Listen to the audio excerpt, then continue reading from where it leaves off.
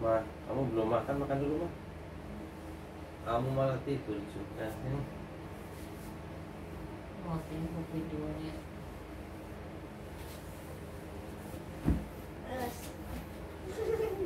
Bisa konyol.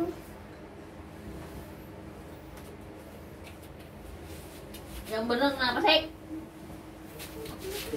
Dibangunin, Ma. maksudnya, ya mau makan apa? Ya udah mau beli di sini apa mau beli di Arab. Joko tangi tas. Benerin itu kasurnya. Harus bener punya Tanggung jawab gue. Mana sing salah kok?